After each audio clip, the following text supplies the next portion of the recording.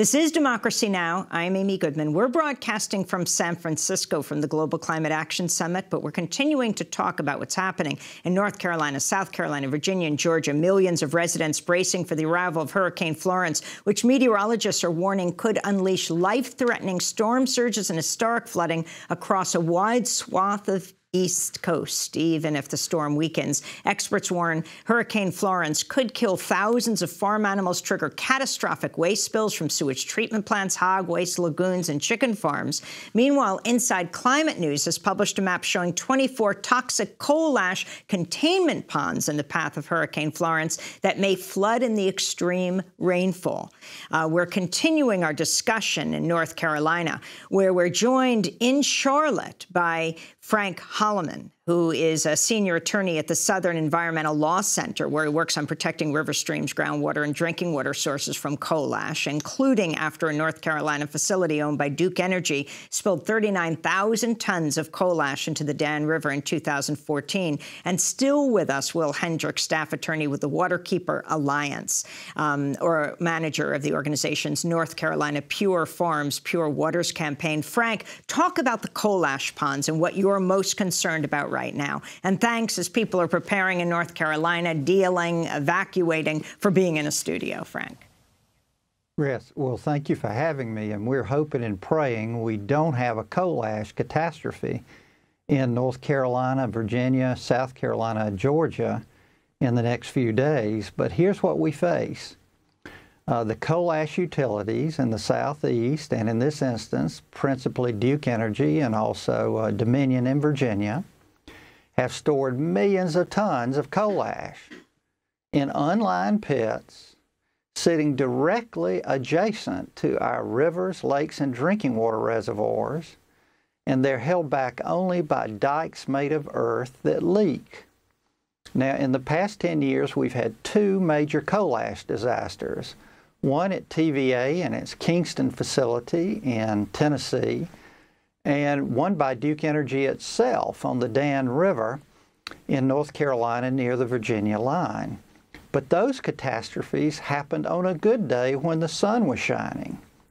Each of these sites, we've been warning and is obvious, is a tremendous risk to our communities, particularly when we have a major hurricane, a flood, or a storm.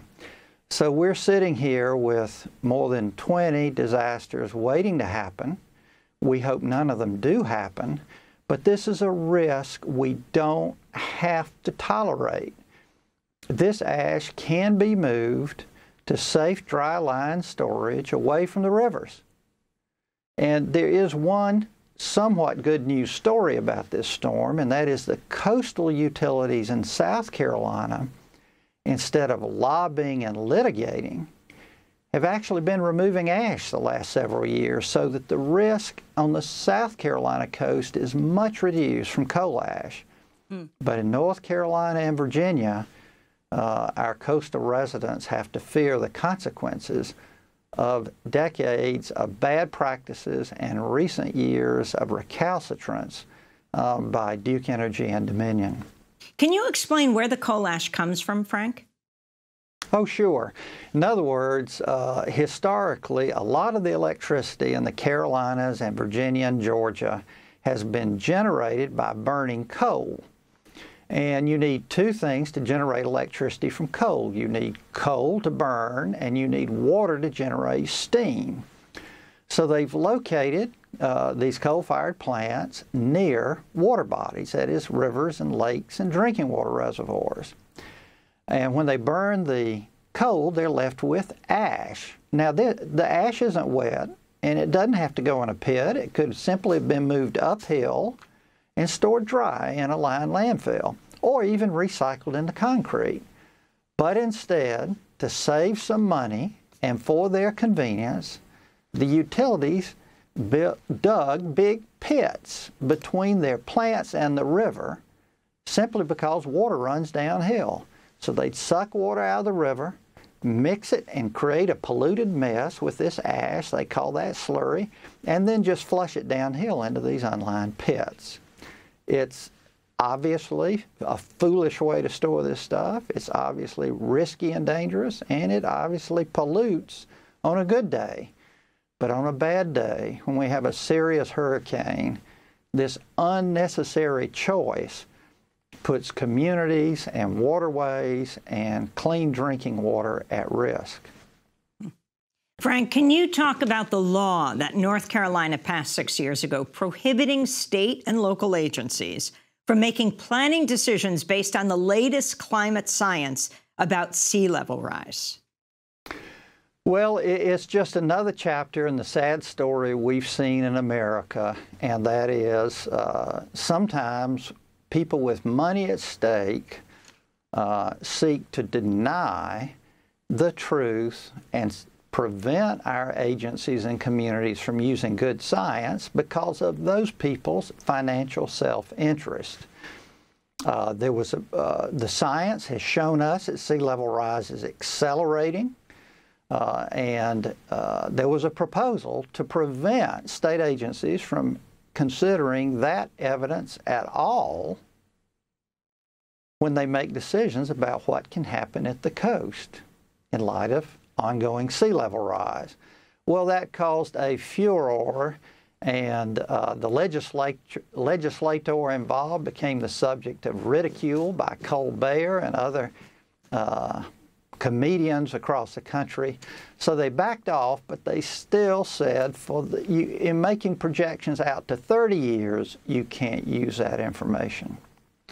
More than anything, though, it illustrates how politicians who are responding to special interests can restrict and even intimidate state agencies and policymakers from using the best science to make the best decisions for the most people.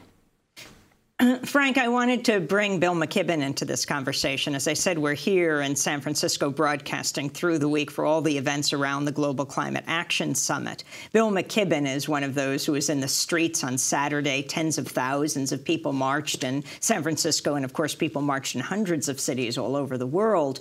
Um, but this issue of this law in North Carolina, um, Bill, if you could talk more about it. So uh, the first thing to be said is uh, everything's connected. How many stories have you done about gerrymandering and voting suppression and things in North Carolina? Uh, North Carolina has endured what amounts to a kind of corporate takeover of its politics in recent years, though people are fighting back hard.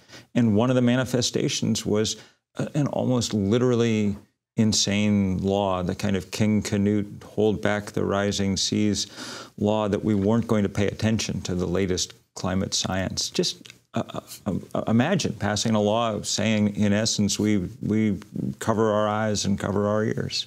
Hmm. And so they can't deal with climate science when it comes to sea level rise, and that's precisely well, with um, Hurricane Florence what they are terrified of at this moment. That's right. Um, they can't. It, it, stopped people from, among other things, really thinking as hard as they should be about coastal development. Uh, there's been a increase of several orders of magnitude in the number of structures along the North Carolina coast in the last few decades. And I, I'm afraid we may find out just how flimsy a lot of that is in the next 48 hours. As you know, the, the category strength of Florence has dropped, but it's an enormous storm now, and it's bringing not only storm surge, probably on a record level, but once that water reaches inland and falls in the mountains, it's going to be coming back down those rivers and streams, which are plugged by the uh, higher sea level. the potential for a flooding catastrophe is like nothing we've almost ever seen. Mm.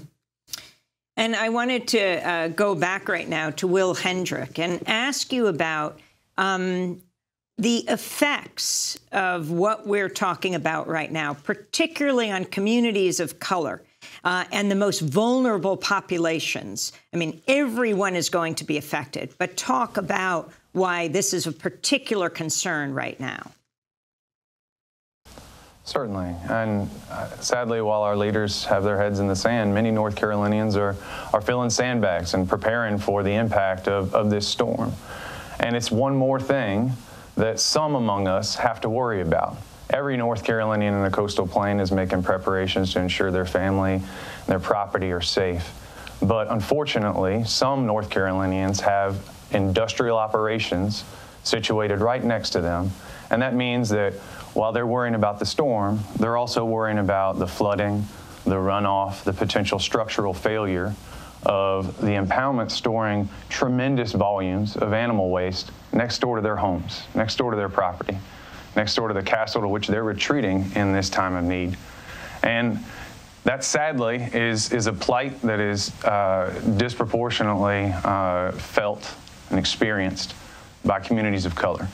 Um, they are more likely uh, to live next to one of these industrial hog operations. Um, and that's a point that we have made to our leaders in our environmental division uh, of water resources, uh, and that's the division that permits the continued operation of this outdated lagoon and spray field system. Um, and so along with Naeema Muhammad and her group at North Carolina Environmental Justice Network and some of the local uh, environmental justice organizations like the Rural Empowerment Association for Community Health, we pointed out the, the, the fundamental problems with discriminating in that fashion and making some among us more uh, required to and more vulnerable to uh, uh, living near these inherently threatening uh, industrial waste sources. Um, many of them are concerned about what they've seen in the past and what they expect to, to repeat.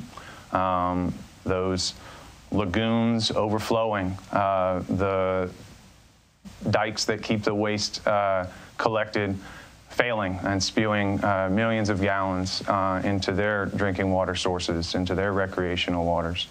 Um, and, you know, the, the impacts have been seen and experienced countless times now in North Carolina. And as a result of climate change, these storms are growing increasingly frequent and severe. Uh, and it's past time for our leaders to demand better waste management. Uh, and if, as projected, this storm causes the damage that it might, I hope that our leaders, when asked to rebuild this industry, will rebuild it with better technology so that it stands on better footing and North Carolinians uh, can better live their lives uh, without fear of interference by industrial operations next door. Will Hendrick, I want to thank you for being with us of the Waterkeeper Alliance, speaking to us from Raleigh, North Carolina. I also want to thank Frank Holleman uh, with Southern Environmental Law Center, uh, speaking to us from Charlotte, North Carolina.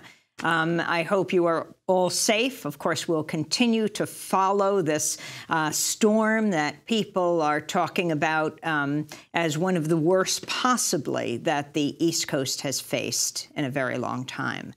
I also want to thank Bill McKibben, but he's staying with us, co-founder of 350.org. Stay with us.